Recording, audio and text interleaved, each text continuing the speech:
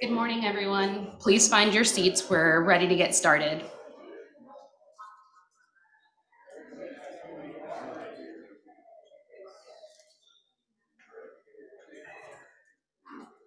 Welcome, everyone, and thank you for joining us.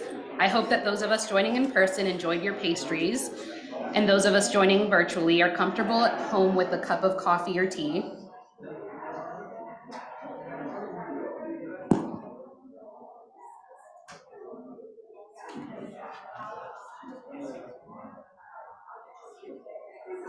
Genesis Corella, and I'm the Massachusetts Policy Associate at the Education Trust. I'm delighted to have you all joining us with the along with the MassINC Polling Group, sharing new data on parent experiences in K-12 schools throughout Massachusetts. At the Education Trust, we're committed to leading with research and data and advocating alongside educators, parents, students, and policymakers to build an education system from preschool through college where every student has the resources and supports they need to learn and thrive. As our state transitions to a pandemic recovery era, now more than ever, it's critical to ensure all voices are represented at the table. And that includes listening to and uplifting the voices, perspectives, and experiences of families who often get overlooked in meaningful conversations. And today, we set the stage. This event is deliberately planned around community and family voices because theirs are the perspectives that will help us ensure that all students have the resources and supports to thrive. This spring, the MassINC Polling Group held three focus groups of racially and geographically diverse K-12 parents across Massachusetts, including our first ever focus group of Latino Spanish-speaking parents. The focus groups were an opportunity not only just to hear from parents about their experiences and perspectives, but also to help us shape our most recent poll. Following those focus groups, we used their valuable feedback to inform this parent survey. We asked them about their child's educational experiences this school year, including how they think students are doing academically, their satisfaction with available resources and supports, school safety and security, and more. This is the eighth in a series of polls the MassINC Polling Group has conducted, starting from October 2020, and it allows us to glean insight into how parents' responses compare to semesters past. I can share so much more about the survey, but I'm sure you all are anxious for us to get started. Uh, so let me just share what you should expect from our time together today. After the presentation of the poll results, we'll hear from Lieutenant Governor Kim Driscoll. Following her remarks, we'll hear from a rockstar panel composed of parents, advocates, and a legislator, and conclude with a question and answer portion. For those of you joining us virtually, you can type your questions by scanning a QR code we'll share during the Q&A portion of the agenda, or you can access it through the Slido link emailed to you prior to the event. The chat and Q&A functions on Zoom are disabled. Uh, but before we jump in, I wanted to let you know that the recordings, the slides, and the data will all be available on the MassINC Polling Group's website, as well as the EdTrust Massachusetts site following this event. And now, it's my pleasure to introduce Steve Koczela, president of the MassINC Polling Group, who will share results from the statewide survey. Everyone, Please welcome me in joining Steve.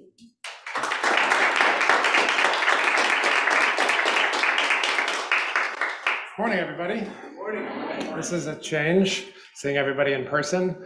I've met several people who I've only seen in box form before today, um, which was nice to see you in three dimensions. Um, I'm wearing a tie, which I haven't done in a while, so um, definitely things are changing. Um, but Uh, and as you'll see, they've been, there's a lot of uh, dynamics that parents are going through right now also, which I think um, we should pause and t- take a moment to pause and understand.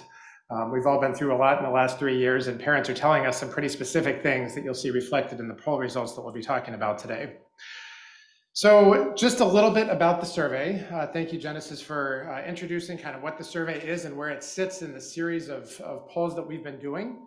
Um, we, it, just a, a couple notes on methods.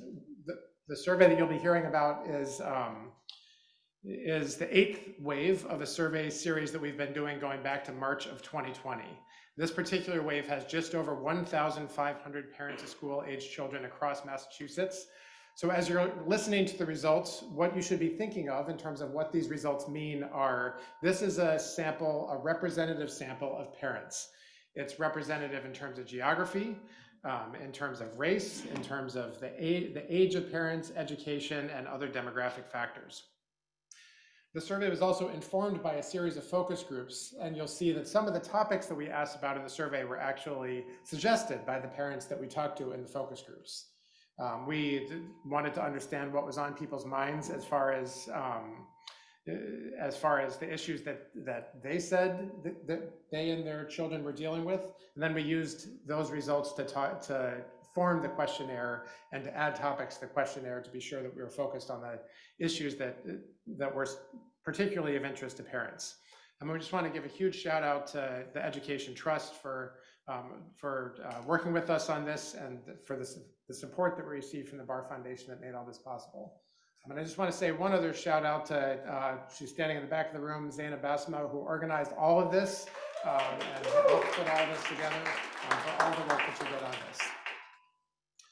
Okay, so the key findings will live on our website. I'm going to skip over them because we're about to discuss the key findings in detail, but uh, just a plug for massincpolling.com, which is one of the places that you can find all of these slides. Um, they'll also live on the Education Trust's website as well. So we'll have top lines there.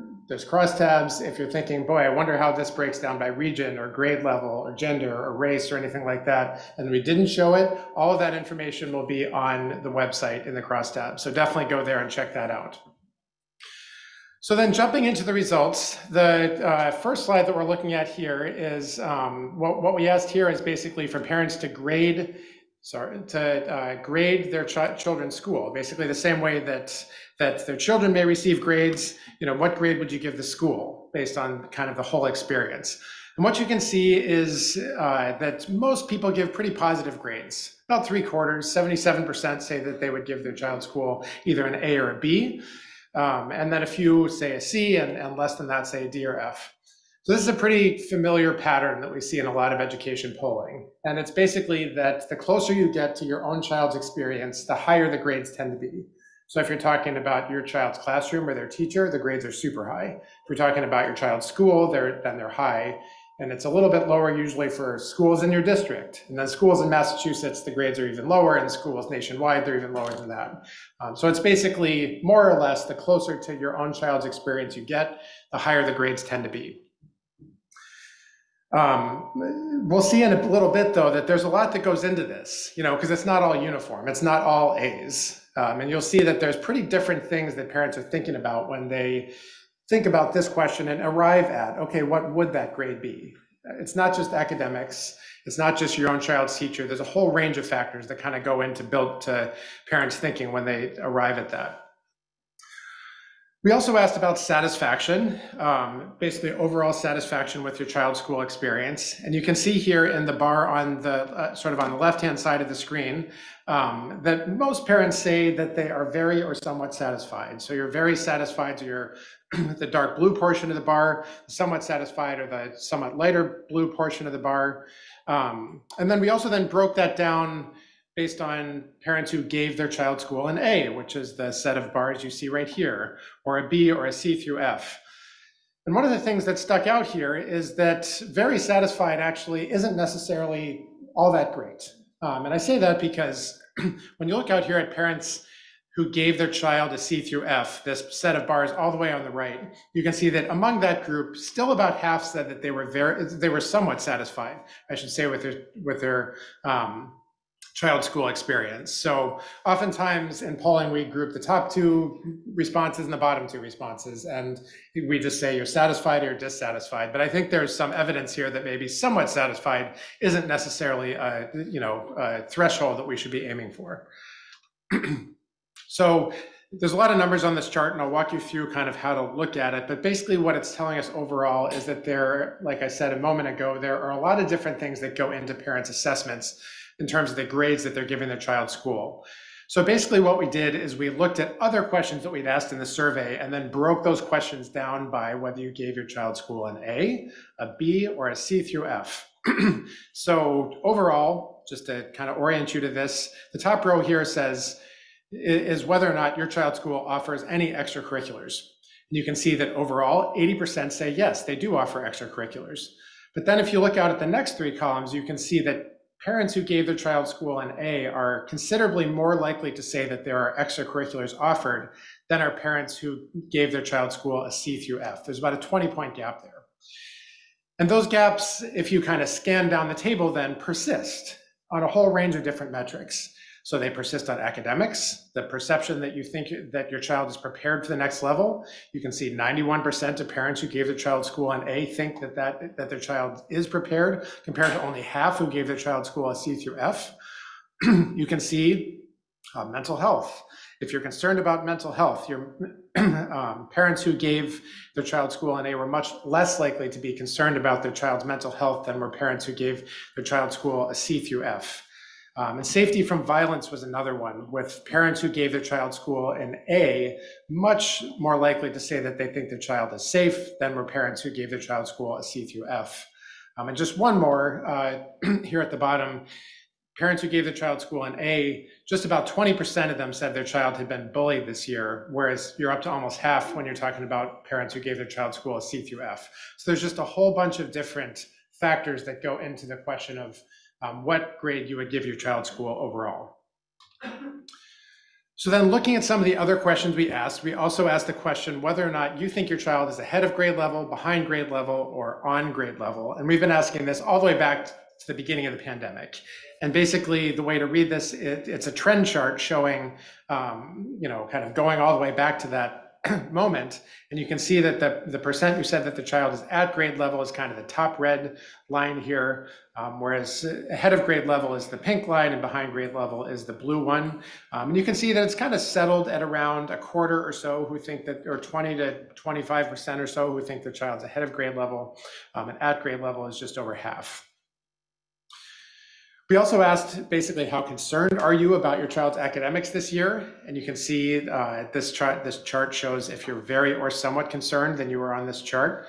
Um, you can see 37% overall are very or somewhat concerned about their, their child's um, academics this year. But there are pretty considerable differences when you break it down a little bit. You can see, for instance, that Black and Latino parents are more likely to say they're very or somewhat concerned about their child's academics than are white parents or Asian parents.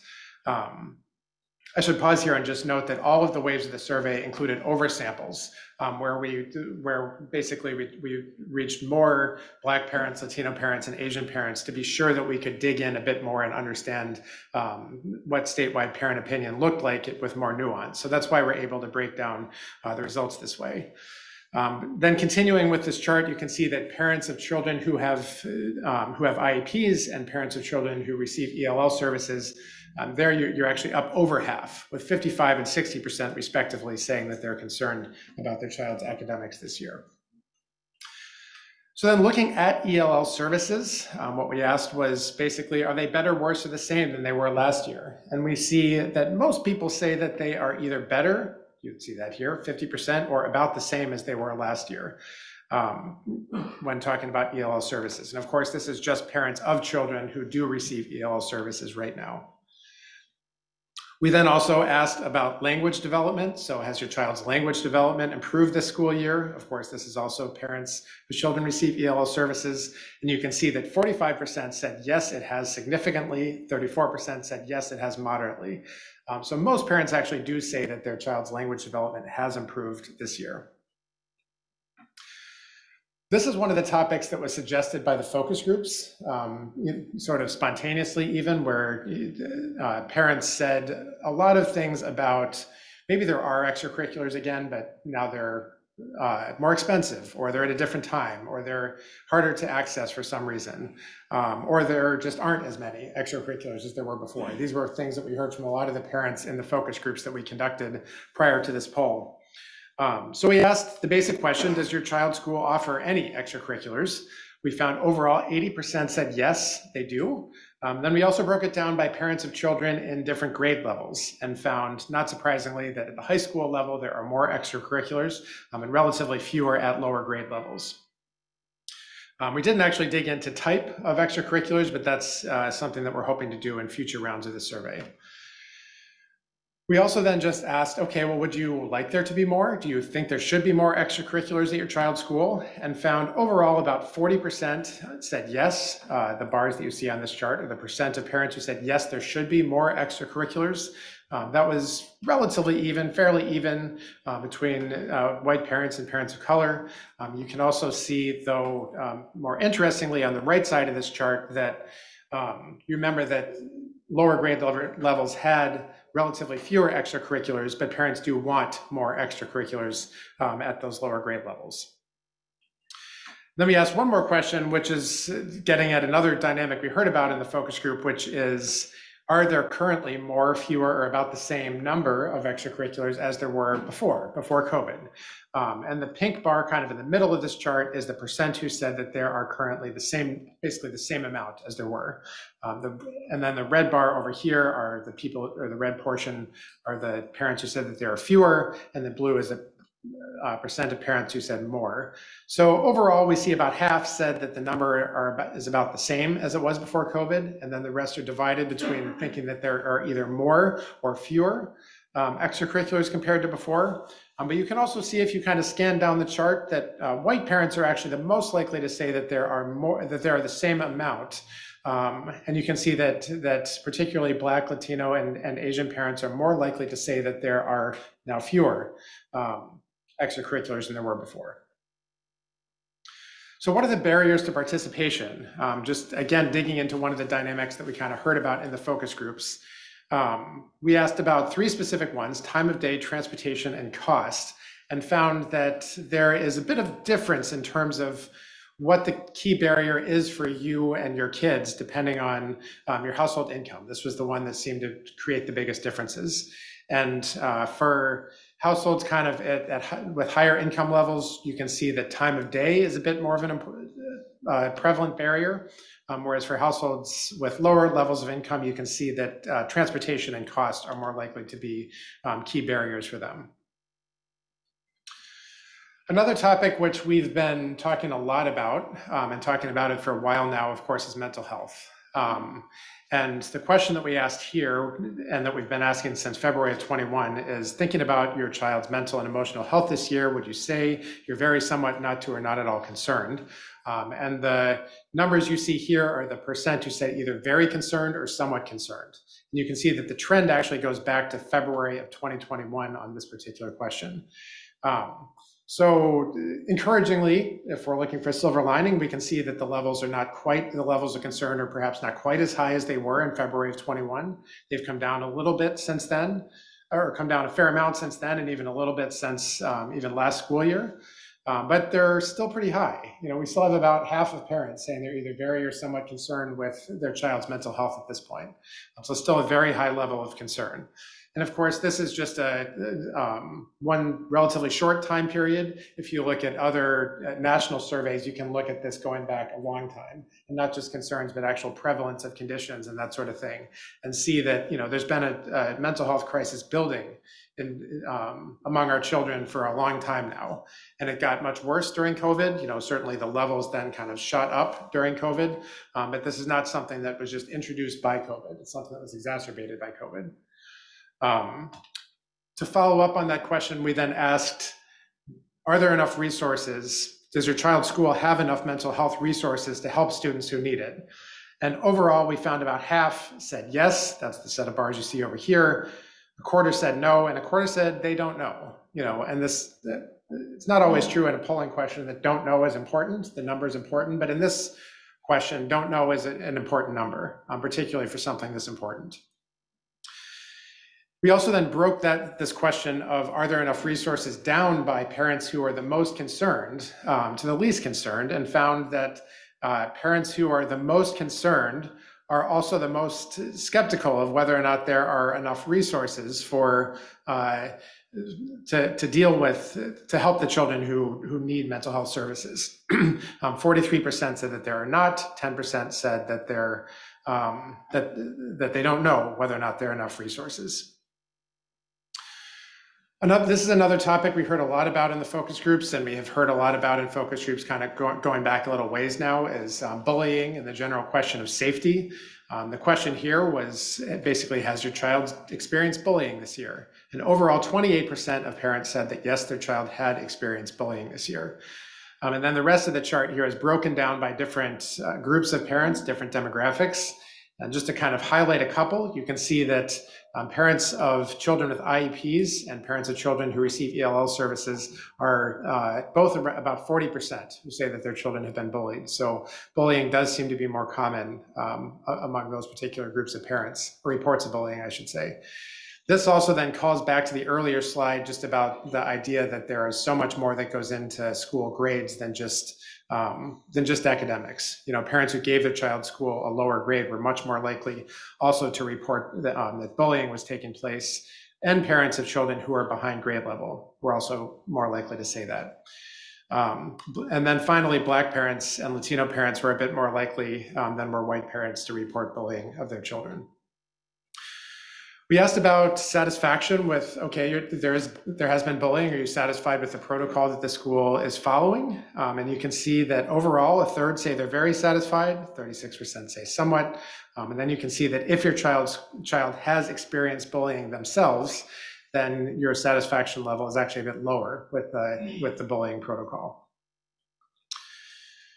Um, this question then shows uh, basically how, how safe parents think their child is from violence. And you can see that overall, we've got about half saying that they think they're very safe. 37% say they're somewhat safe. This is another one, of course, where we could really debate whether uh, somewhat safe is good enough, you know, whether this is, uh, um, you know, this is the metric we should be shooting for, or if we should be trying to expand this kind of red bar down here.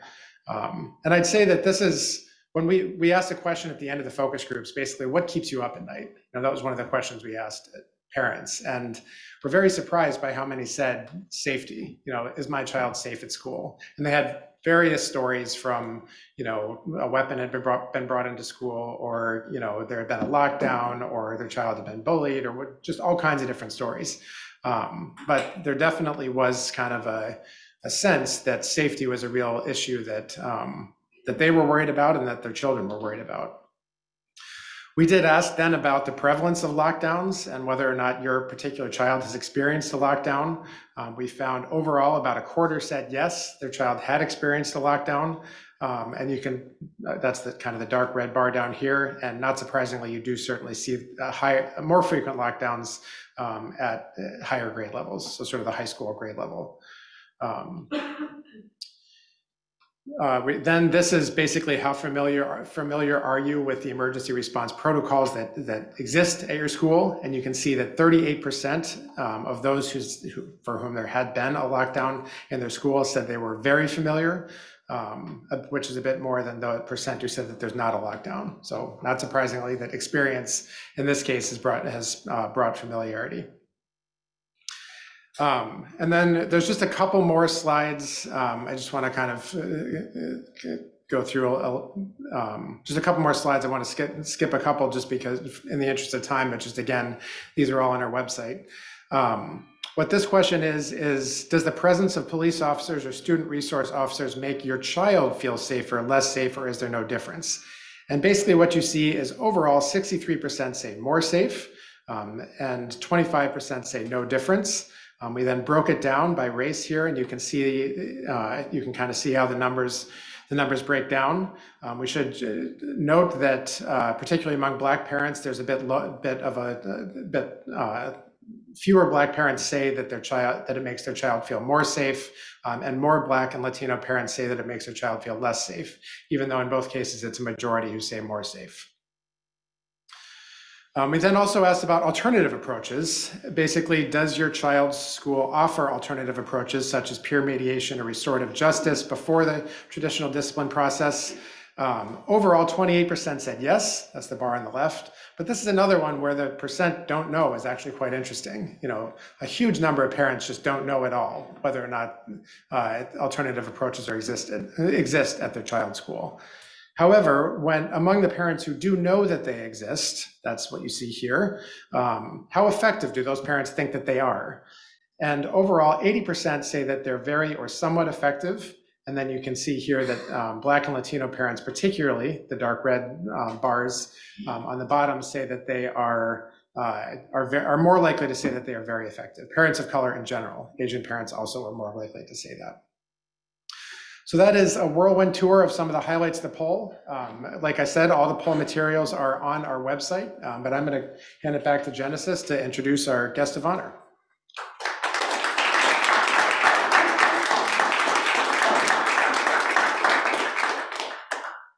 Thanks, Steve, for your overview of the data. I think the poll findings really elevate parents' concerns about their child's social, emotional, academic health, mental health, and really reinforces the need for state and local education leaders to listen to parents' voices and act with the greatest urgency.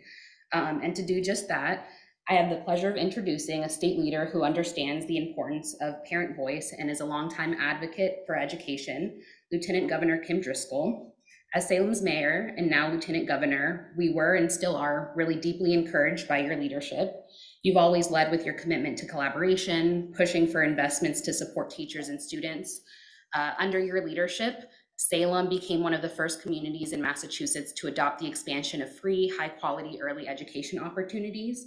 And you played a significant role in the Student Opportunity Act and ensuring equitable, equitable distribution of those funds. Uh, we sincerely appreciate you uh, coming today and having somebody like you on Beacon Hill, and we couldn't be more grateful that you're joining us.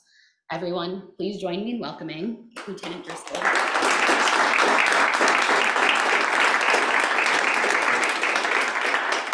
Thanks so much. Great to be with you.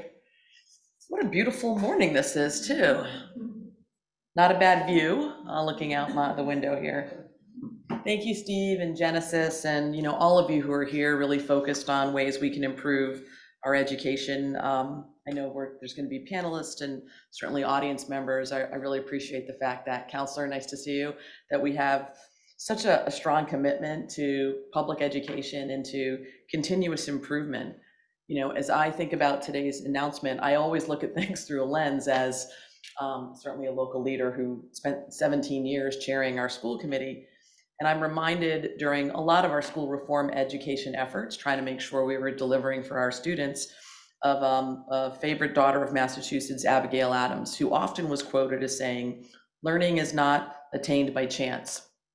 It must be sought for with ardor and attended to with diligence. I think it really speaks to our desire in Massachusetts to continually find environments where we can ensure that all of our students are being well served by our public schools. It's certainly a duty we have to the next generation, and the I think the groups that are here today really recognize and value that responsibility. You know, there's no doubt in my mind that we're at a pivotal moment for education in Massachusetts.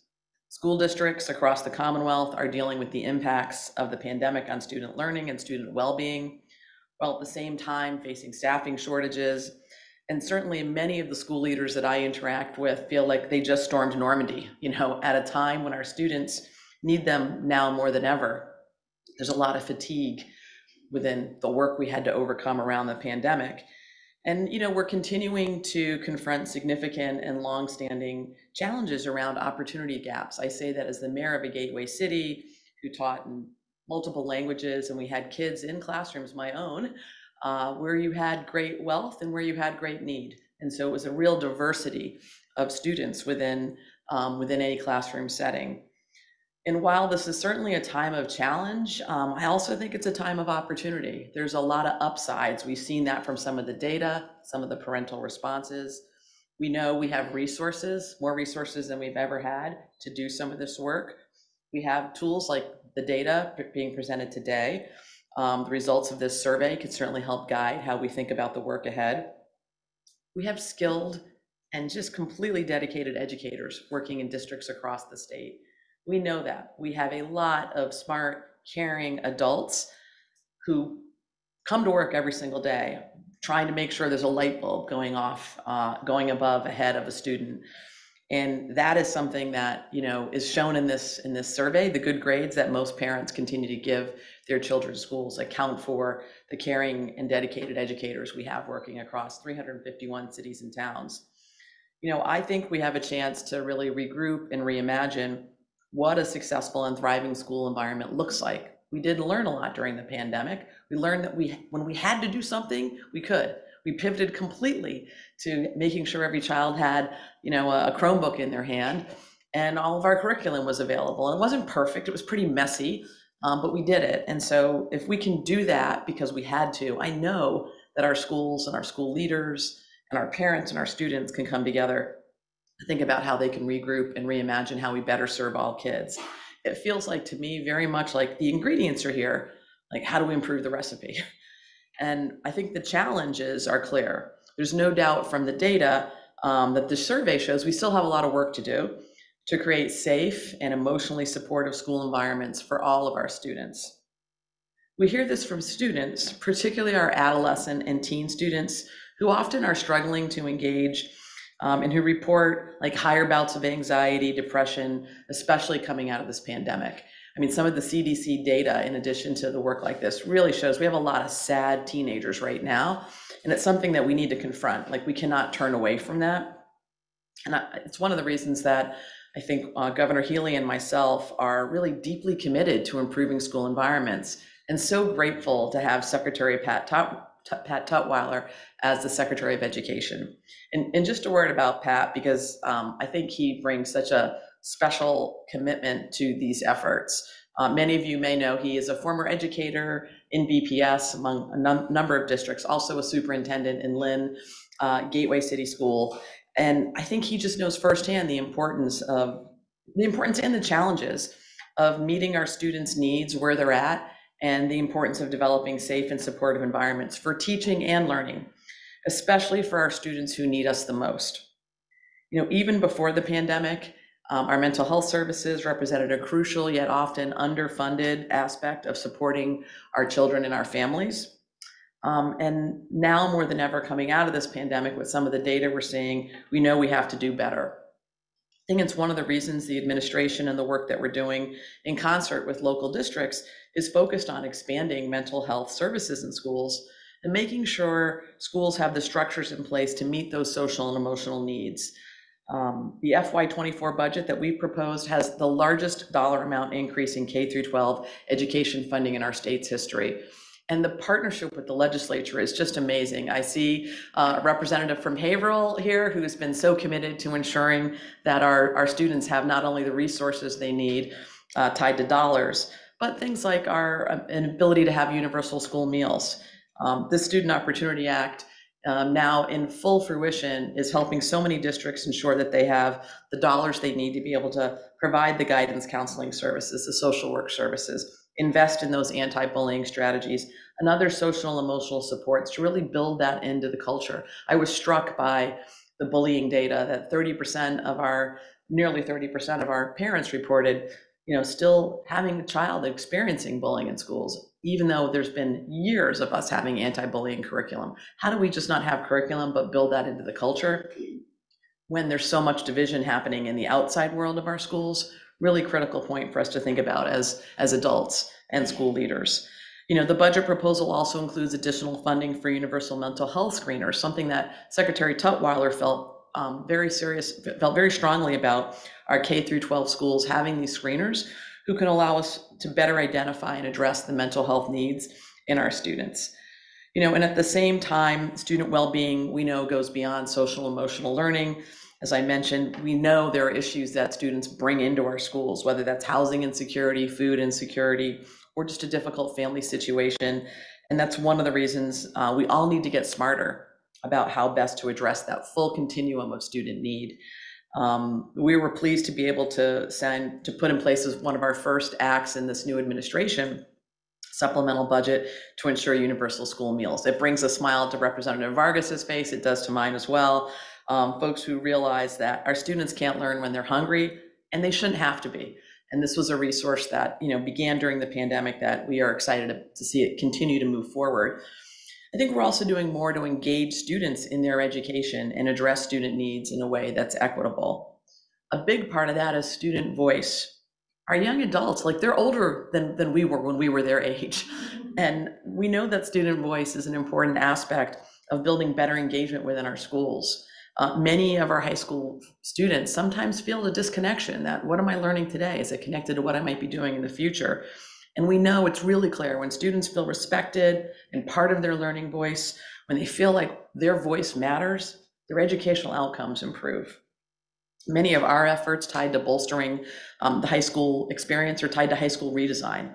You look around this room, I don't know who the oldest person in this room is, but I guarantee you, your high school experience looks very similar to what high school looks like today in many of our classrooms. You pick your classes, you go to your schedule, it's pretty rigid. And we know our students are telling us they want something di- different. Um, so bolstering high school redesign, early college, career pathways, part of an effort to boost student engagement and connect again what kids are learning in the classroom to what they might want to do after graduation. You know, I think one part of the survey that also bears further discussion is the data that shows parent satisfaction with their child's progress is significantly lower for parents who have English language learners or who have students with disabilities. I think Massachusetts educational leaders have long said, like, no matter how highly our public education system ranks nationally, we can't just be number one for some. We have to deliver excellence for all of our students. It's too important. Uh, it's too important to just dismiss um, the, the demographics that lead to students not doing as well. And it's certainly for us an area of continued growth. Some of the opportunities to do more here will be supported by the Fair Share Act investments, enabling us to put more resources into things like universal pre-K, especially starting in our gateway cities. If we're going to think about this in an equitable way, our gateway cities are the places that have more of our vulnerable population. And again, expanding those uh, high school um, opportunities through early college and career pathways, not just in vocational schools. We need to do it there, and there's long waiting lists. We, we understand that, but also in our comprehensive schools, where we're also seeing students who want that hands-on learning and those opportunities to think about the connections between today and tomorrow. Obviously, we have to continue to prioritize equity for students of color, our English language learners, our students from low-income families, and students with disabilities who continue to be disproportionately affected by some of the major crises happening across America and frankly across the Commonwealth. I really want to thank MassINC. for their longstanding work with respect to public ed accountability. The results of this store of this survey underscore the critical need for all of us, state and local leaders, as well as our nonprofit partners, to listen to the voices of parents and to act with urgency to provide all children with the resources and supports they need to thrive. We can't get there overnight.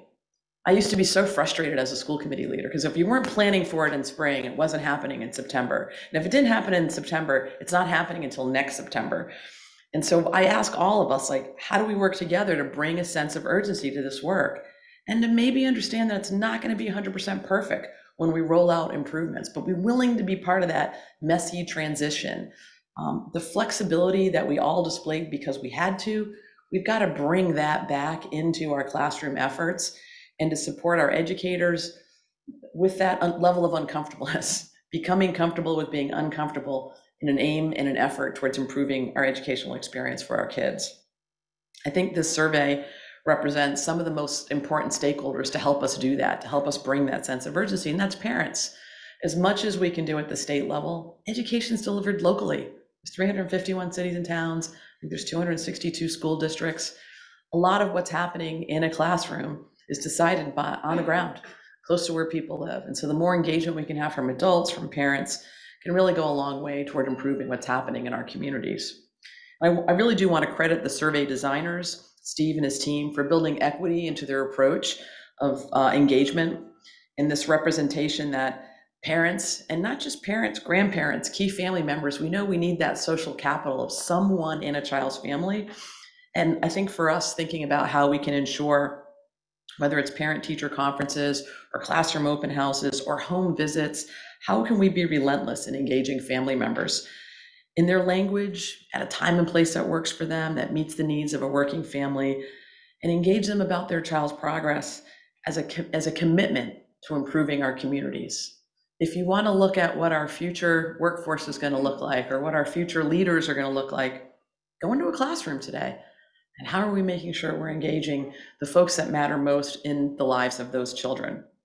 So I really want to thank all of you for being here today, for doing the important work, for analyzing this data, discussing how we can improve education both locally and from the state level. I think through these conversations, I'm confident we can craft these solutions to better serve our students, ensure the Massachusetts education system lives up to the promise for excellence of all in a place where free public school began, in a place that has a constitution enshrining the right to an equitable public education for all. We are seeing parts of the country backing away from this commitment, trying to divide students, not here in Massachusetts. So it's our job to sort of double down on the promise of our public schools to make sure our educational system continues to meet the moment and provide each child with the opportunity to access the best education, no matter the circumstances, to ensure, as Abigail Adams said, that learning is not attained by chance, but it's something that we're willing to fight for and give ardor and attendance to with diligence. Uh, again, it's it's great to be part of a of an ecosystem in the Commonwealth that cares deeply about education, that fights about the right way to do things, but at the heart of it, at the heart of it is making sure we're providing for all of our students. Thanks for all you're doing and for being here today.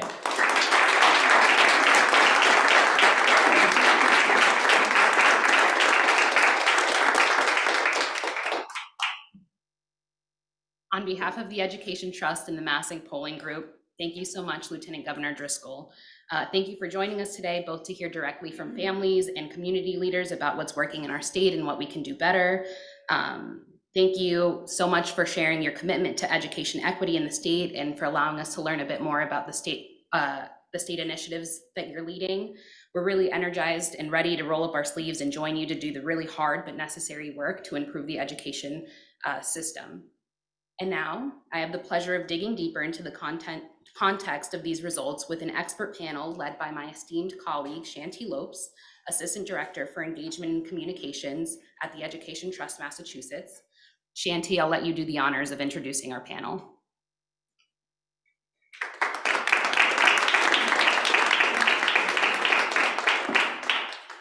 Thank you, Genesis, for the warm welcome and good morning, everyone. Uh, just a reminder to those joining us by Zoom, you received a link to submit questions. And if you're a part of the audience and have a question, just hold off and we'll be coming around with microphones a little later on. And now I have the introduction. I know Steve said honorable, but I think our panel is just as honorable that we have today. So I have the pleasure of uh, welcoming our panel to the stand, uh, stage uh, today.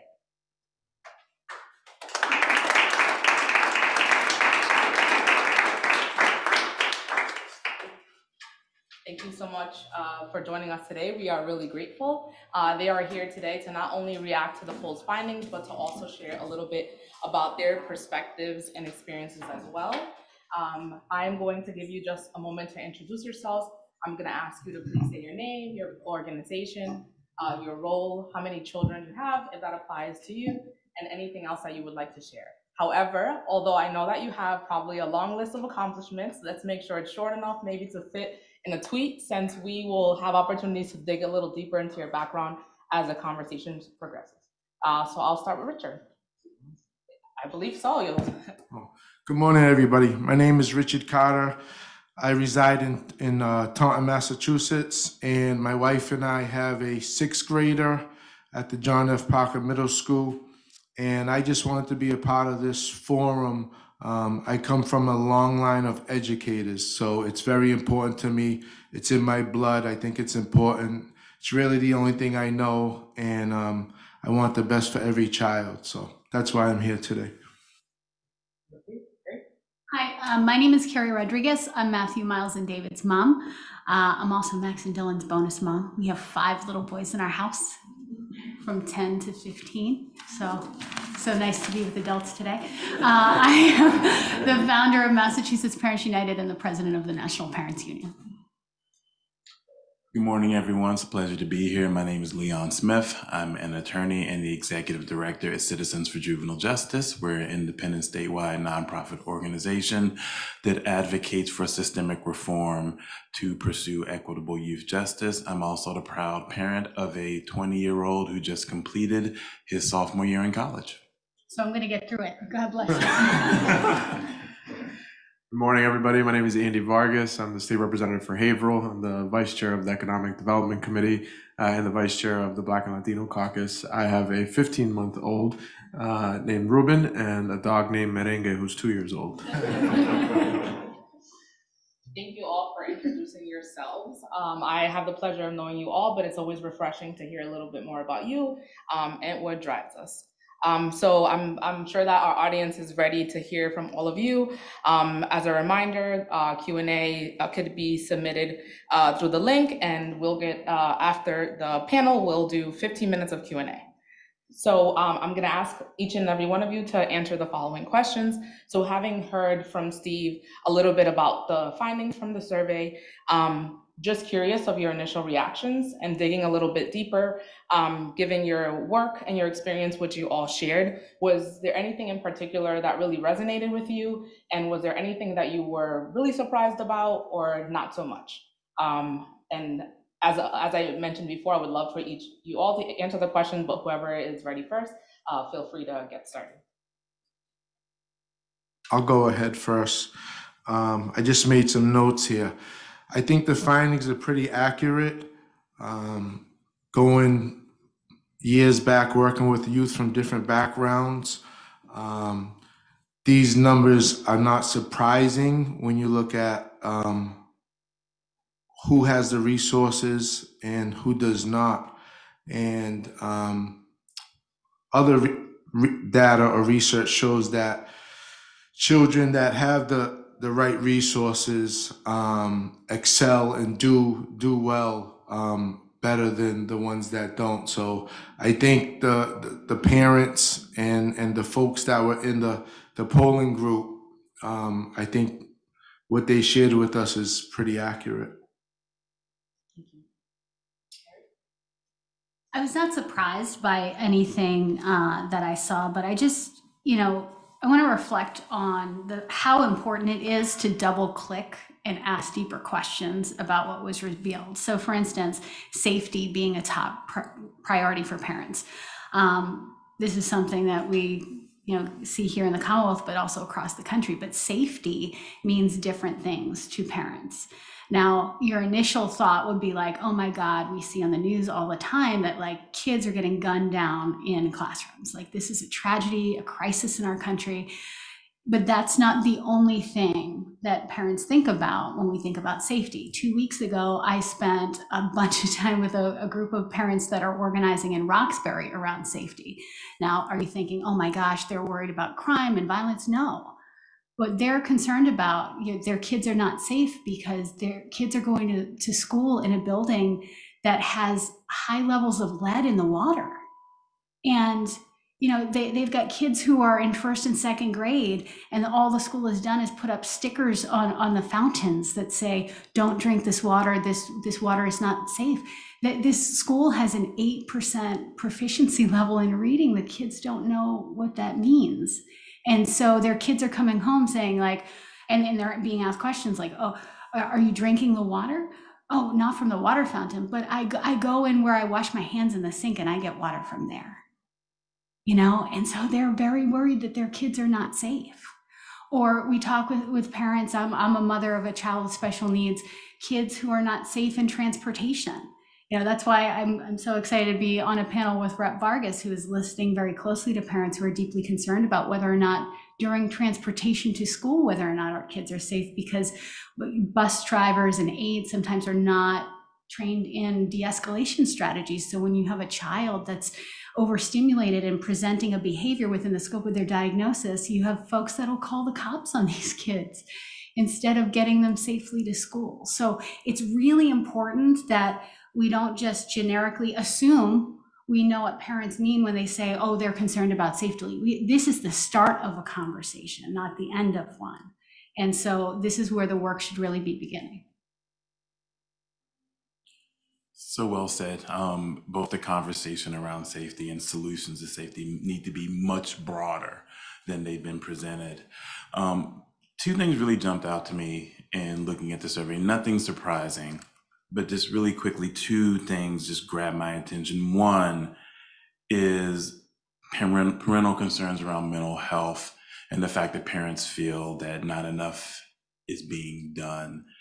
We can't lose sight of the fact that we went through a global pandemic and that really created a adolescent mental health crisis. We can't be so concerned with getting back to normal or the perception of normal that we lose sight of that. And that if we don't address students' social, emotional, and mental health needs, they are not going to be able to learn. So to me, that serves as a reminder. The second thing that jumped out, and I'm so happy MassINC really looked at extracurricular activities. When we look at the picture of what's critical to a child's educational experience, extracurriculars are not an appetizer. They're not an after dinner mint. They're part of the main course of a child's education and quality education. When I think back to things that really made me excited to go to school, what math class? It was the ability to participate. Those are things that gave me a sense of belonging, a sense of school pride, and the fact that we have disparities, the fact that parents of color are citing that they have fewer opportunities, the fact that you can live in a certain town and depending on what school your kid goes to, they may have less access to those things. That's something we need to continue to track and we need to continue to address. It's easy to look at a, a, a, number and say, oh, rate of chronic absenteeism, school disengagement. Well, are we providing those types of opportunities beyond the classroom that connect with students and really draw them into the school community? So I was really happy to see that, and I hope MassINC continues to look at that as a very crucial factor. Yeah, I think that's very well said. And if extracurriculars are a part of the main course, then I think parents and students are really hungry for it. Um, and you know, one of the other takeaways that I got from this poll was, um, you know, something that we all already know is that there's an information and perception gap as well, right? You know, white parents thought that extracurriculars were about the same or more, uh, but uh, parents of students of color uh, thought the opposite by and large. Um, and I think it brings up an important point that um, we have to view uh, or a lens that we have to understand as we try to break down this poll or any education policy, and that is that these decisions are incredibly local uh, and rely on the work that's happening at the local level, right? And that's individual outreach to parents, uh, strong uh, family engagement teams. And I think whenever I think about school policy, I always come back to the fact that, you know, in municipal elections, particularly in gateway cities, 20% turnout is a really good year, right? And school committees uh, control and influence so much of the decisions that happen. Um, and I don't think they receive enough time and attention uh, that they deserve um, for the amount of power, responsibility, and uh, potential uh, that they have to really put a dent into many of the challenges that we see here. Uh, and so I think we just have to keep that lens in mind that you know it's great and, and, it's important for us to have these discussions at the state level. We have to continue to provide resources to uh, cities and towns. Uh, the Student Opportunity Act is doing that. Uh, but at the end of the day, the decisions around how to spend that money, how to invest that money, uh, how to educate parents on alternatives to um, discipline, uh, how to solve the transportation challenges that we're having. Those are very hyper local decisions that are happening. And we need to make sure that we're investing our time and resources in creating the conditions so that parents can have a meaningful say at the table and that we lessen the information gap uh, that we see in these polls. Thank you all for sharing. I think I heard a lot of um, commonality um, and definitely uh, heard the sentiment of making sure to really understand what we mean when we talk about safety and also the approaches uh, that we uh, sort of pursue to tackle some of the safety concerns. The next question is uh, for Richard. In the poll, we asked parents if they believe that the child's grades uh, really represented their academic performance and ability. And what we found that only about half of parents felt that it did uh, very well with most saying only somewhat well. So I'm curious from your perspective as a parent, do you believe that uh, the child's grades are perhaps the best indicator um, to be able to uh, measure academic performance? And what other indicators uh, do you look to? And also curious, not only from your perspective, but what are the types of things that you're hearing from other parents? So I, I do think that her grades are a good indicator, but it's not the only indicator. Um, my wife and I, we try to find out what she's learning, if she has the ability to learn, problem solve, those kind of things. Um, I don't know if a lot of parents have that sense of, of awareness to um, be able to communicate with the school. Um, but overall, I, grades are a, a, good indicator, but some of the things we talk about, um, the uh, extracurricular activities, those kind of things. Um, I know how important it is for her to be more well-rounded, um, how to, you know, learn to communicate, how to socialize, those kind of things. Um, so those are some of the things I look at from the school's perspective, um, that we want her, um, not just her grades. Um, so, and her ability to, um, develop the skills to move into the next level, you know, so when she gets into high school, she's ready to, to figure things out and, and she knows how to learn. Um, so, Thank you, and I think you touched upon what Steve said earlier, that there's many factors that go into, um, into how parents sort of decide, uh, their overall, uh, grades or, or satisfaction with the school. I know that, as I mentioned before, many of you wear different hats, from a fifteen-month-old to a twenty-year-old. Um, maybe, uh, Rep Vargas won't be able to answer this question, but I'm, I'm, or maybe you will. Uh, curious if you guys would like to add on to the question, if not, we'll go on to the next. I, I I have a lot of report cards in my house. Look, a lot of report cards. Um, yeah, I I don't have a lot of confidence in report cards. Um, not because just what I have, you know, the blessing to do for a living, and I can look at the data and you know all of this stuff, but just personally, you know, I I have a son right now who is on the honor roll in his school, A's and B's. Great kid, awesome kid. Um, but it is also quite clear to me as a parent that he is struggling to read and write sentences and spell at the end of sixth grade. Um, but when I go and ask questions about that, I'm not given that information reflected on the report card.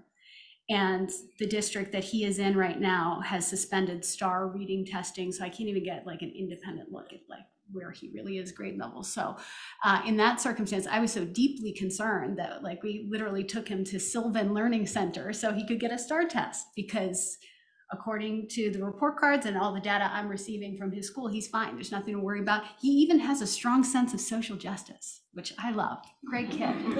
Um, I'm not sure if he got that from the school, but love that he has it. But when I get the data back from an independent test that tells me and confirms for me that he is two and a half years behind grade level, you know, and I have to go in and fight with like a group of educators that I'm not crazy. No, what I was seeing when he was struggling to write about Roberto Clemente was clearly a struggle and there there was evidence there. Like i have the ability to, to go and do that. Not every parent does and not every parent wants to frankly. When we were talking about the parent engagement piece that's that's a, a critical piece of this. I think we have an opportunity because of the pandemic we've seen so much play out in our living rooms around you know parents seeing what education really looks like but a lot of us you know have direct lived experience. The parents of today are the the failed students in many cases of the last generation and there's a, not been a lot of restorative justice. So we kind of go into this being a little suspect about engaging and whether or not it's safe so i think until we unpack that and start to address that this this you know fairy tale we have in our minds that like everyone's just coming into this conversation brand new that's not the case for many of us. I have two kids that go to a school that's named for the man who expelled me from high school. You know i have some baggage there and i'm, I'm ready to protect him because i'm worried that he's going to go through the same thing. so i mm-hmm. think there's a lot that we have to understand and instead of indicting parents for not showing up and doing what we want them to do, maybe being a little bit more understanding that there's some lived experience there. We've got some work to do, some restorative justice work to do with the parent community. Uh, thank you. Uh, Leon or, uh, okay, moving on to the next question. Mic Um, drop. Mic drop. Yeah. How do you lead after that, right? Um, uh, Keri, actually, the next question is actually for you. Um, I know that the National Parents Union, uh, does surveys on parents nationally on a lot of the same, uh, topics that we covered in the poll. I'm just curious, um, based on what you're hearing nationally and also Massachusetts, what's the same and- what's different among, uh, sort of, uh, concerns with parents? I think they really line up. They, they really do. I mean, we ask very specifically, like, what are your priorities right now as a parent? Uh, we ask questions a little bit differently because it's not just based around education, because, um, you know, parents don't have students, we have children, right? And so we're, our, list of priorities, education is important, but right now economic issues are really, you know, putting parents in a very difficult situation. So the fact that SNAP benefits are under attack because of the debt ceiling conversations, like it's dominating and taking up a lot of space. When we talk about education, safety, mental health concerns, the fact that our children are not having learning loss addressed with the urgency we expected, those are the top concerns. You know, we, we can see quite clearly, it's very evident to parents that parents, that, that children are behind, they're struggling to learn how to read. It's very frustrating for parents to discover in Massachusetts, where we love to sit here and say, we're number one, we're number one at 38% proficiency in reading for third graders. Like, why are you bragging about that? That's insane. So, like, I mean, nationally it's 35%. So, hey, you know, three points ahead, but that's what we're satisfied with. Like, that's what we're excited about. 87% of American families in our, our poll want a, a federal right to read in proficiently, proficiently in third grade. Like they think that's, that's a no brainer and that we should be putting, you know, a lot of energy behind that. So I would say, you know, Massachusetts parents are not outliers. You know, our concerns are the same; they're very similar. Um, but I, think what we also see is that they they very desperately want to be part of the conversation, and that's toothpaste that kind of got out of the tube during the pandemic. We were invited to the table, and we had things to say. We were seeing this played out in, in in living rooms. You know, again, like watching this go down on Chromebooks, and now like we're, we're engaged. We want to be a part of the conversation. So I don't think that that is unique to Massachusetts. And I think, um, you know, it's, it's definitely in line with what we're seeing nationally.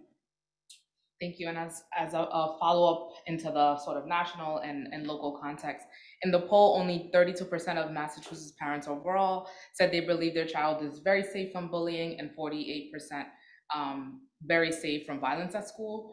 Um, as we mentioned before, we conducted focus groups um, to help us shape the, the poll, and we really heard a lot about parents around the concerns with violence and bullying. How does what you're hearing about safety and bullying in Massachusetts align or differ from what you're hearing nationally?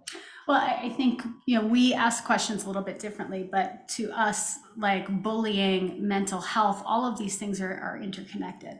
When you see parents now talking about bullying being a concern, some of them are concerned that their child is being bullied. Some parents are concerned that their children are becoming bullies because we've had a mental health crisis amongst our children. And we know the, the phrase hurt people hurt people. Little hurt people hurt people and act out in different ways right? And so identifying that as part of a mental health problem. Our kids need help. Like they're acting out this way and they're they're some of them are staying home which is why we're seeing you know lower like an absentee crisis but like some of them are acting out and fighting in the classroom or in the hallway or the flagpole or down the street. We work with a lot of parents. I'm thinking about my chelsea parents right now who are very frustrated because they're arguing with the school district and the police department over who's going to solve their bullying issue because the police say it's a, a school issue the school says it's a police issue the bottom line is our kids are hurt and not okay.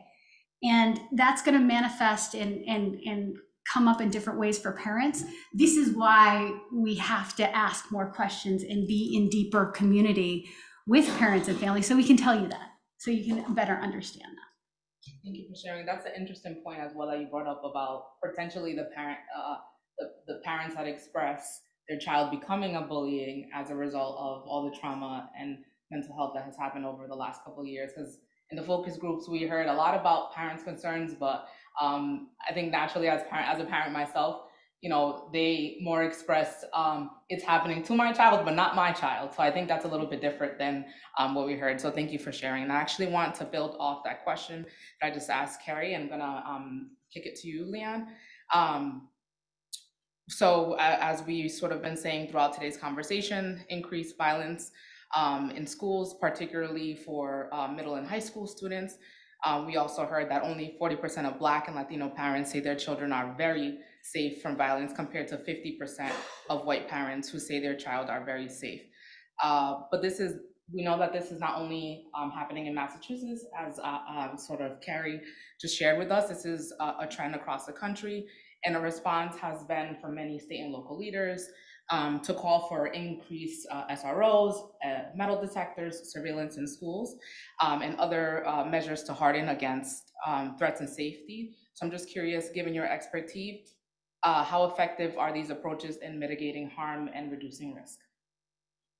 So before I get into the research we've done at CFJJ, I want to build off what Keri said. And it's important that we really get to the root. Far too often, we talk about mental health over here and school safety over here, and we have to understand that they're really integrated. And what we have to really focus on is how can we make our schools more restorative? How can we make them more trauma responsive? Notice I didn't say trauma informed because I don't want you just to be informed. I want you to be able to respond to the struggles that a kid brings into the schoolhouse door and, and really healing centered. Um, and, and that's how we have to really approach these issues at their root. But you asked about really school hardening measures. So with CFJJ, we're a policy organization, but at our root, we're also a research organization because we believe that policy should be grounded in research, in data, and best practices, because it's important that we advance policies that have an evidentiary basis at being effective. So as these conversations have taken place around metal detectors in schools, we say, okay, there are people who they hear these ideas and they think, wow, this is something we should do, we step in and say, let's look at the research to really see if they're as effective as people think that they are. Um, when I began doing the research on our for our metal detectors report, I came across a quote from a national security, a national school safety expert named Dr. Ken Trump, and he coined the term security theater. And he said that in relation to metal detectors and cameras and other things that um, you hear advanced often. And he used that term because these approaches are tangible.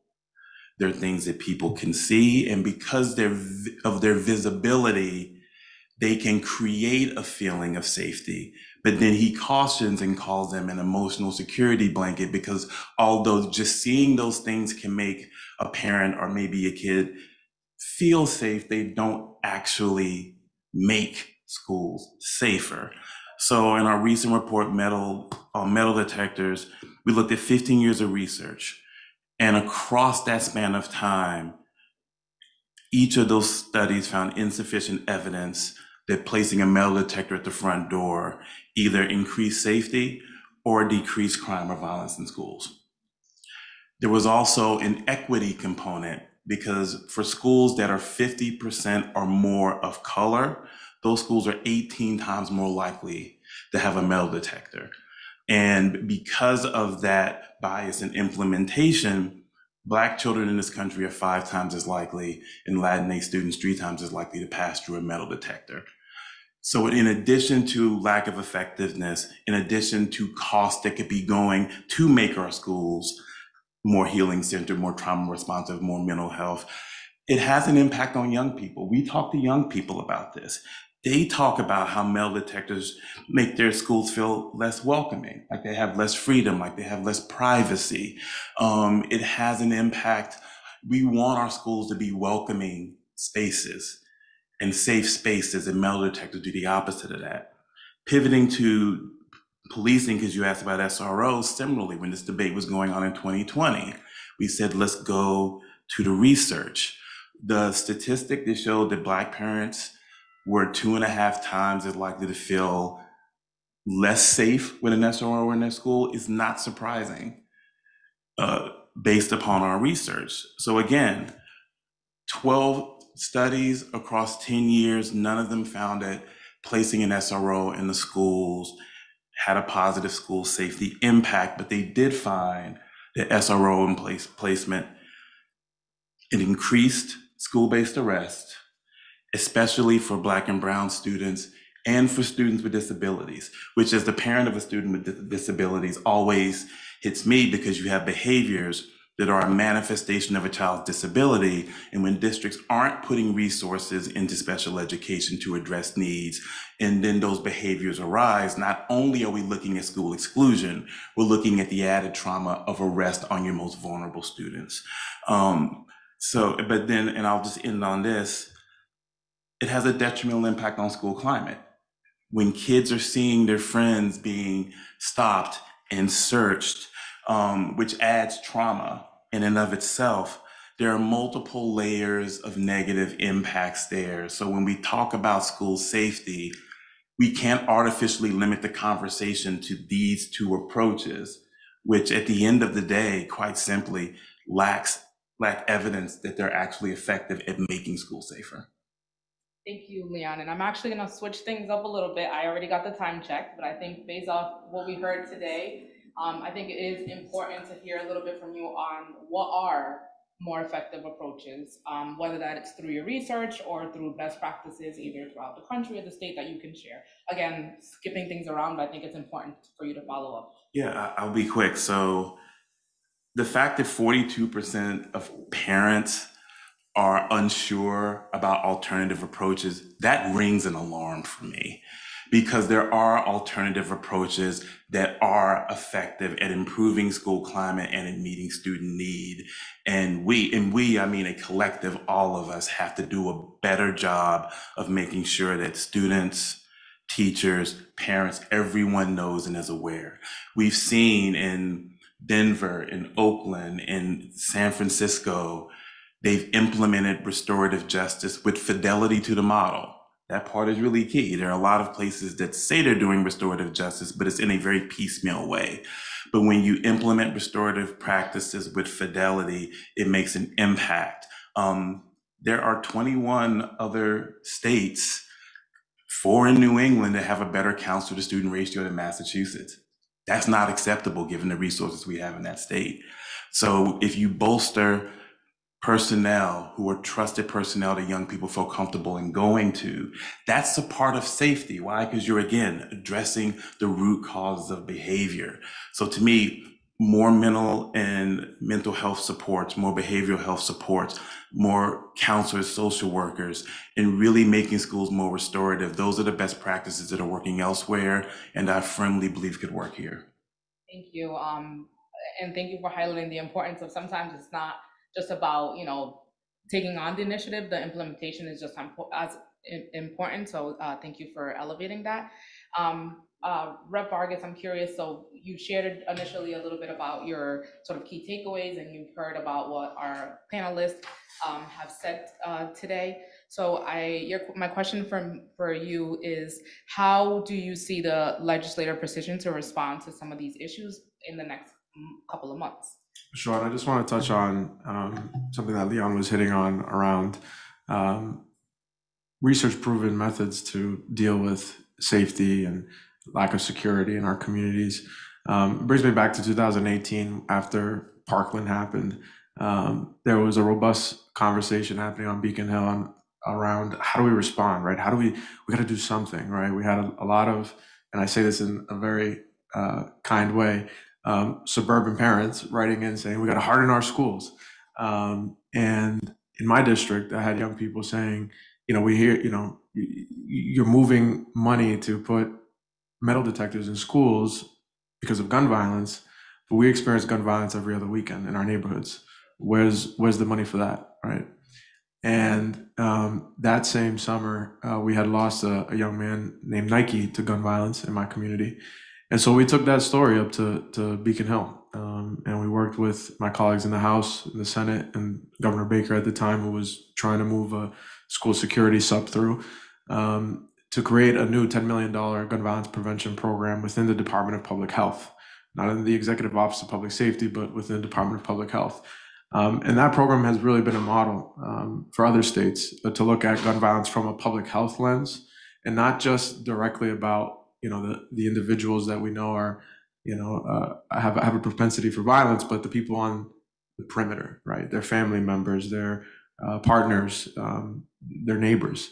And so it's intentionally called the Neighborhood Gun Violence Prevention Program uh, within the Department of Public Health. And we just increased that line item to a $13 million annual line item from the 10 million that we started in 2018 as a SUP.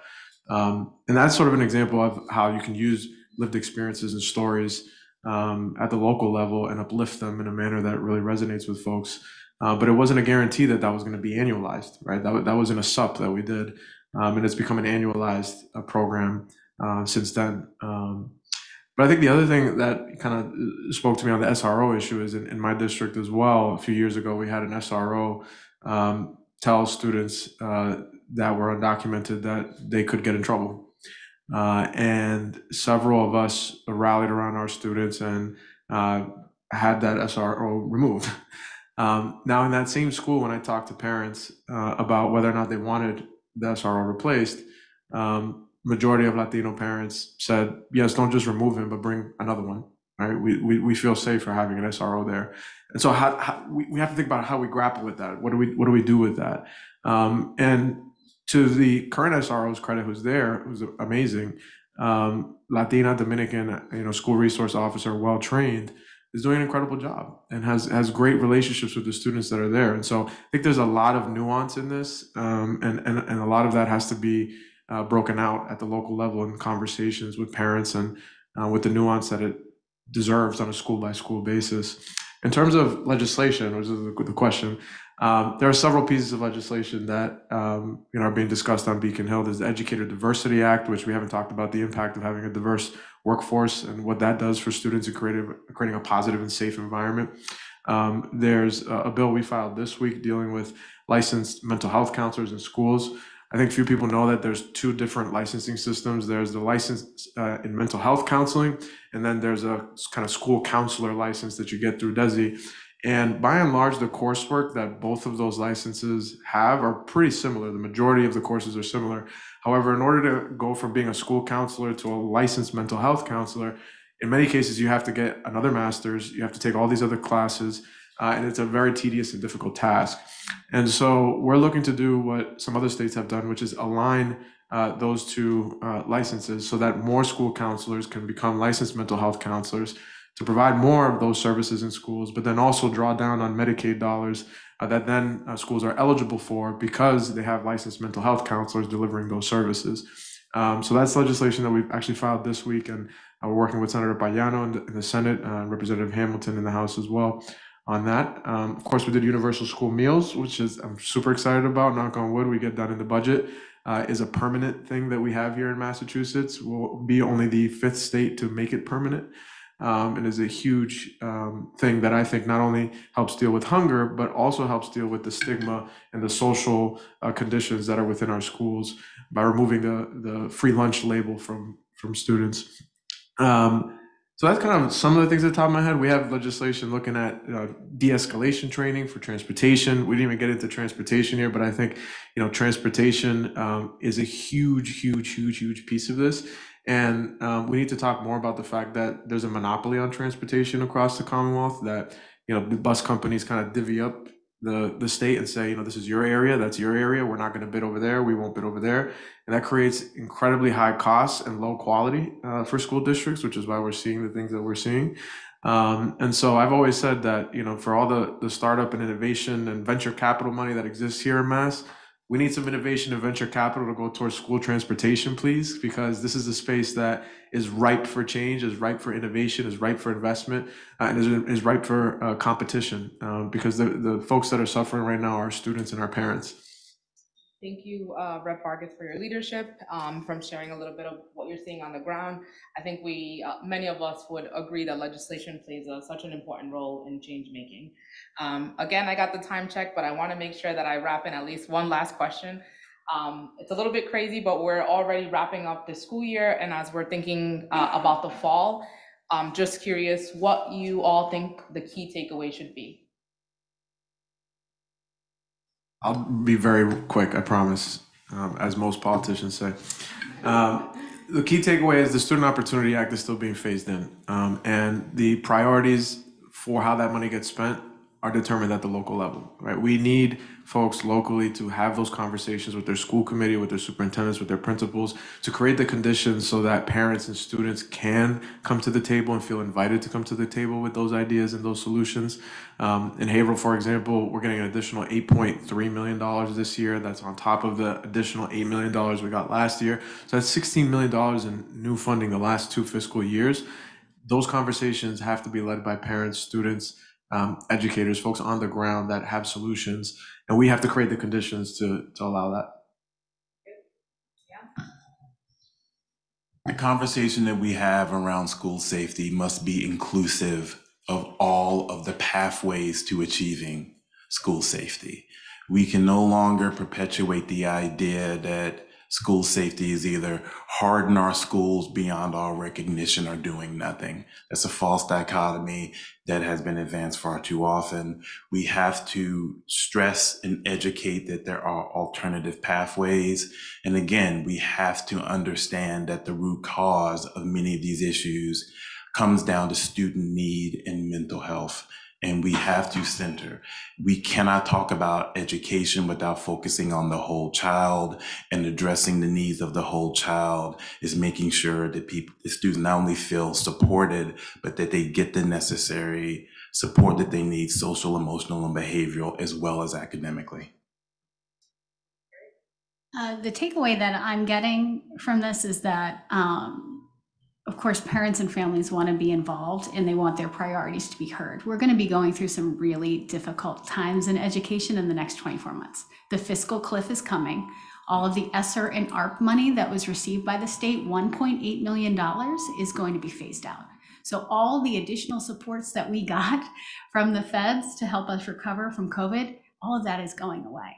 And we're already seeing the results of that happening where in places like Brockton, you are laying off 130 teachers. You know, that's before this money even goes away. And in districts like Brockton, which are a perfect example of this, where you are having kids that are in schools that aren't safe by parent standards, and now we're taking away 130 teachers before we have even planned to deal with this fiscal cliff coming up. So if you think that these priorities right now are going to go away and what we want to see, they're not.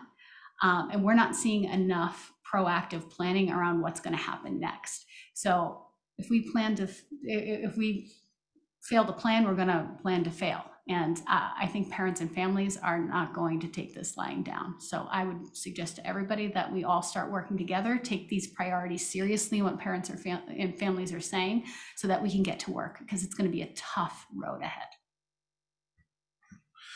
Lastly, um, Leon stole a little of my thunder about the whole child. Um, I was sitting here, I wrote down, we need to put the, the resources that addresses the, the whole individual, academically, socially, physically, mentally. Um, so I'll just end it that way. We need to put the resources um, to address the whole child. I think I definitely heard from all of you that there's definitely urgency uh, to, to act and to do it collectively over the next couple of months to uh, address some of the issues that were raised by parents and to also dig a little deeper to continue to understand what it actually means. Uh, Rep Vargas, Leon, Keri, Richard, thank you so much for taking the time to join us today. I know some of us are still transitioning to the in-person, I know I am, uh, uh, events again, so thank you for coming, for sharing your, your expertise, your experience, your perspectives. Um, now we're gonna open it up for Q and A, so I'm gonna ask uh, Steve to join us. So we have been getting a few uh, questions already um, from the Zoom chat, uh, but I'm gonna just ask if there's any um, audience members here today that have a question. I'm gonna open up with you. I see a couple hands. Yes.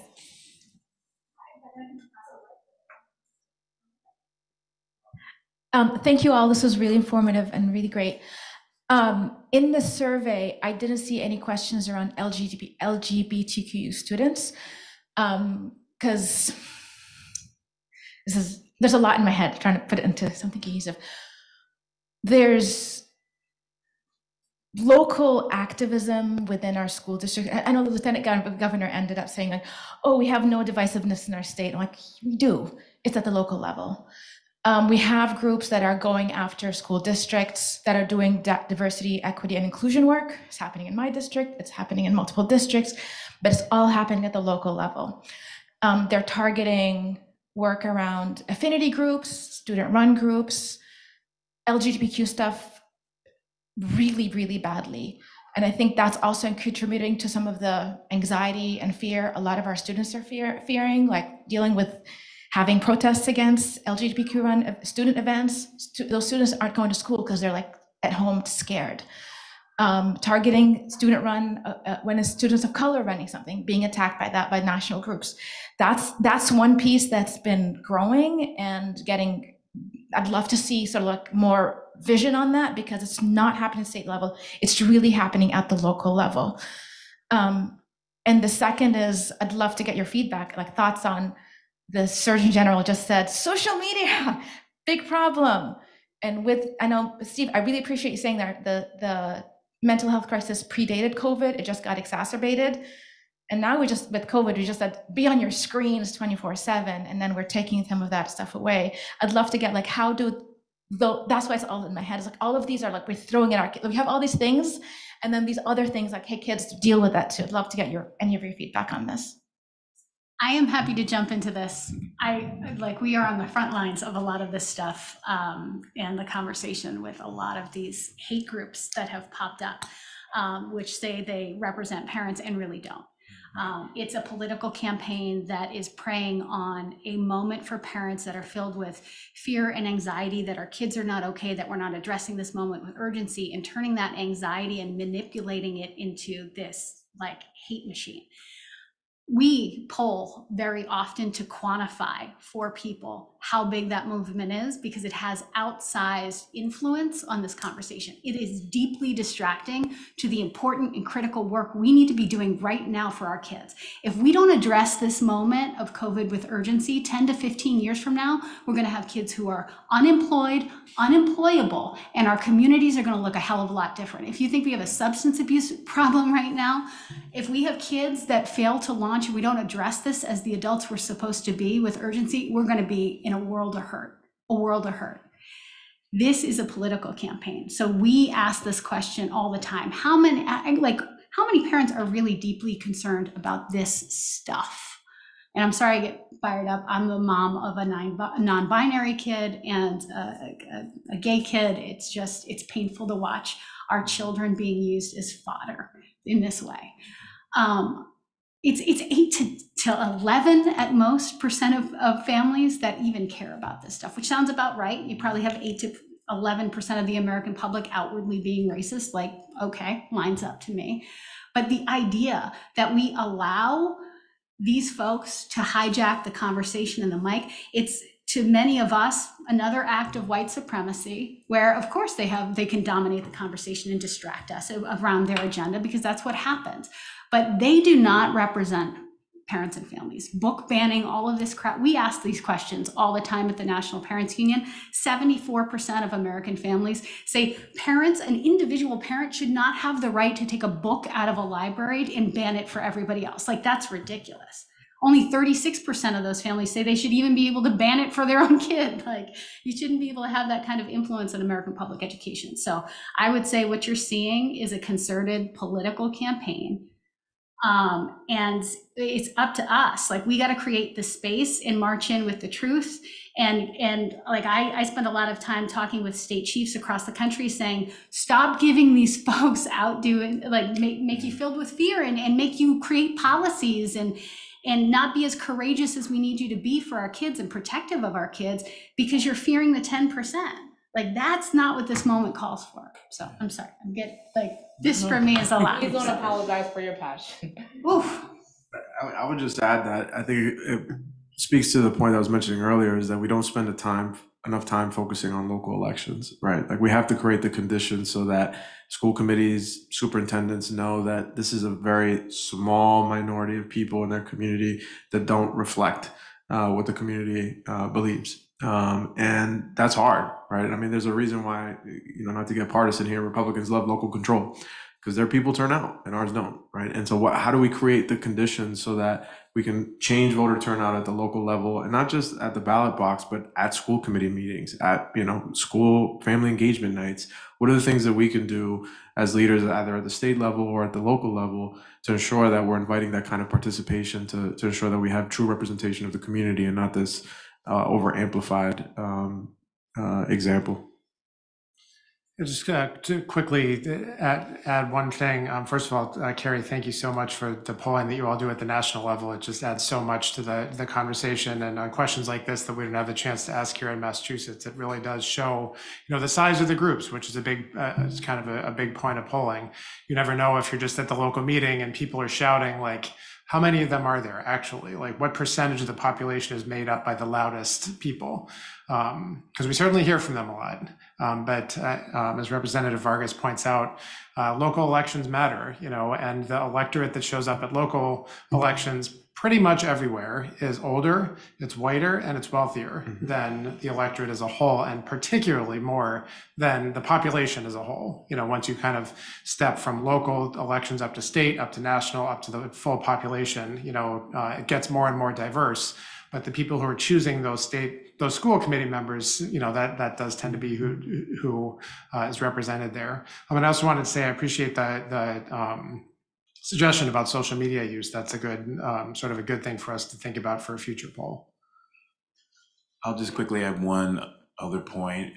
When we look at available data that we have, I think we have to acknowledge the moment and that the LGBT plus community is currently under siege and that is absolutely impacting our young people.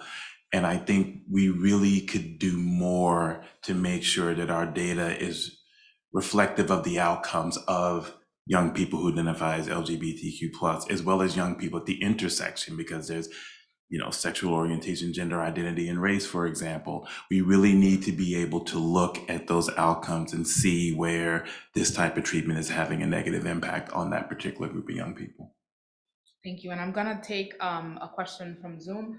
Um, However, I want to recognize that not everybody feels comfortable maybe asking their questions out loud. So if you prefer, you can scan the barcode as well and submit your question uh, via the app.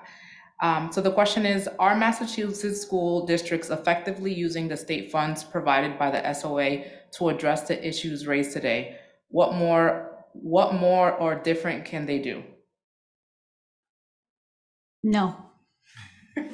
Um, we see things like, um, money for the ESSER and ARP money, instead of being used, that was supposed to be earmarked for things like mental health support, used for things like school hardening, adding additional SROs. Like, when you're not, again, when, when we created this whole process and people were supposed to be coming up with plans for how to use this ESSER and ARP money, it was actually built in there. We were yelling and screaming that we needed to have parent and family input in the, the planning. So when you actually submitted it, like it, it would have this.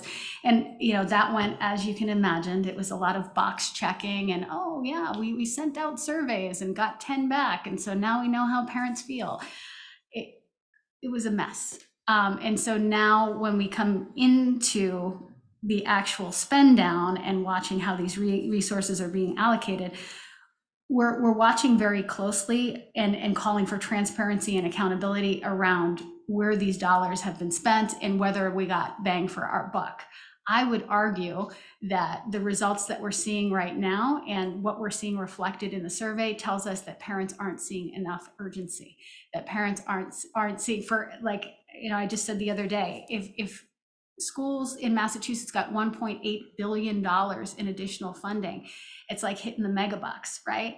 Like if I if I hit the lottery, you know, my living room might look different. I might get some new furniture. I might not even live there anymore. I might move someplace else, get something fancy, right? Parents are not feeling the impact of that money the way that we, we would think, like in additional supports, uh, you know, different strategies, all of these things. So that's something that we've we've seen reflected in our polling. Anyone else like to add? I think that, um, Keri, that does align a lot with what we heard from parents in previous polls and focus group when we asked the question around, do you see these funds being sort of spent on things that you find effective? Many parents said, I just don't know how to answer. Um, so I, I that doesn't definitely resonates. I think we have time for one more audience questions and, and then we'll have to wrap up. Does anyone else have a question they would like to pose? Thank you so much for outlining the, oh, sorry. I was gonna use my Peter voice. Um, thank you so much for outlining the complexities and challenges that we face. I work for an education nonprofit where one of our organizational values is optimism. So I just would like to ask you all, what gives you hope? I love that. Maybe that's a great way to close. Uh, I love this question. Um, I was, I always uh, bring up Winston Churchill, who said, "I'm an optimist because it does not seem too much use to be anything else." Um, what gives me hope are students. Number one, um, I'm going to a civics project showcase tonight in Haverhill, uh, which I'm really excited about, which is a result of the 2018 civics education law that we passed. Uh, and when you talk to these students, they have real ideas, um, they have real solutions, uh, and they know what they need. Um, and so, just spending time with students gives me hope. Um, and then I'm also um, hopeful because I'm married to an educator and she just won't quit. Uh, and I see the stories that she brings home, um, the impact that she's having on her students, um, the fact that you know she could go elsewhere, but has you know decided to stick around this long in a very difficult environment. Um, that gives me hope.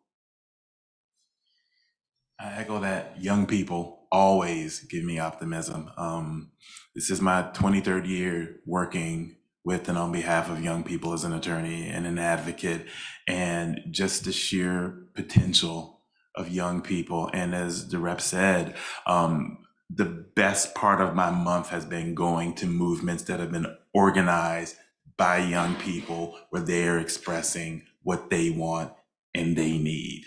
And so young, so these things that we're talking about, more mental health supports, more restorative justice, young people are taking to the streets, young people are taking to social media and they are asking for these things. So my job is easy, just having their back and uplifting the things that they want. I think two things, um, very quickly. Um, you know, the fact that parents are continuing to show up and ask questions and are remaining curious and are staying engaged. I, I think that's a beautiful thing. Um, nationally, our organization, we started out with about 185 parent groups across the country. Now we're up over a thousand affiliated organizations, all 50 states, DC, Puerto Rico. You know, we have an epic campaign, Everyday Parents Impacting Change. Every day, parents are signing up eh, so that they can be informed. So when they go to the school board, they can ask questions around ESSER and ARP and say, well, I'm very concerned about like grade level reading or that we're using balanced reading instead of structured literacy. Like what, like asking really deep, good questions. And that urgency is not going away. The other thing is community organizations organizations that sprouted up and did so much more during the pandemic are continuing to do more. Like not all of this rests on, you know, our public uh, education system. Like we see community organizations that are continuing to step up and innovate and support our kids in new ways. And they're so creative and now have become this vibrant part of the educational ecosystem that I want to see more of and want to see us supporting more as well. What gives me hope as a parent is that um, young kids are just amazing. As as much as we're talking about today, um, if you look back when you were a child, um, generations back, um, we have the ability to overcome. It's just a lot much easier when we work together, when we have the necessary resources. But um, it's just great being a dad. Every day, I'm teaching her, she's teaching me, and um, we're just we embrace the opportunity um, to educate her and and look forward to her future, and and that's what we need to do as a society. We can't just sit back and, and just worry about our individual selves. We need to worry about everybody be, because it comes back to affect us um, one way or another in our lives. So we need to just care for each other, care for the young people, and, and do our best. And I'd just add to the uh, very eloquent things that have already been said. Um, first of all, to echo each one of them. Um, I have three kids, and certainly they uh, they bring me optimism. And then just to add to that, it's uh, the people in this room and the the fact that in Massachusetts this does matter to us. You know, this matters to our elected representatives, it matters to who we think of ourselves as, um, as residents in Massachusetts, that education matters. So we're not there, it's not perfect, but we're striving and we're working, um, and that also gives me optimism. Uh, Thank you. I think both from what we heard in the poll and, and shared from the panelists today, I think there's a lot of work to do, but I love that we ended on a high note of unity and that there is a lot of promise both from our educators and also um, our, our students uh, throughout the state, which, which are doing amazing things despite some of the things that were shared today. So that is all the time we have today. I want to thank you all again for uh, all our panelists. Um, Steve, on behalf of the Education Trust, thank you, MassINC., for always being a, a great partner and for everyone that joined us today. Um, I know that MassINC. is always doing a variety of polls on different topics, including we'll be doing another uh, education poll later on in the fall. And I know a lot of you sort of uh, I, I know my mind is sort of going to the areas that we missed that we can probe a little bit deeper, both in focus groups and, and polls. So I'm looking forward to it. If any of the information um, today you missed, whether that was a presentation um, or the crosstabs or anything you would like to find, could be found both in the Ed Trust Massachusetts and the MassINC. polling group website. Um, a special thanks again to the Barr Foundation for um, supporting our work throughout uh, the eighth uh, hole in the series. And again, thank you all for joining us. That's all for today.